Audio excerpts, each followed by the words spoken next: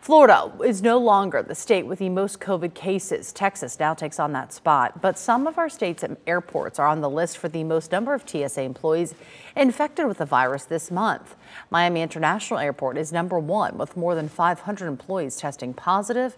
The Fort Lauderdale Airport then ranks fourth with 370 cases. Orlando International Airport came in at number